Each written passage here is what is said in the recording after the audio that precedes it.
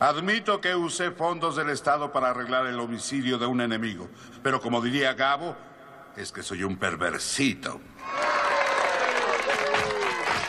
Diamante reelegido por aclamación popular.